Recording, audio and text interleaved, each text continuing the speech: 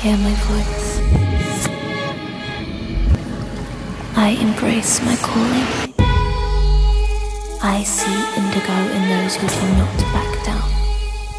We do not compromise. And so I ask, do you believe in more? Put your trust in me.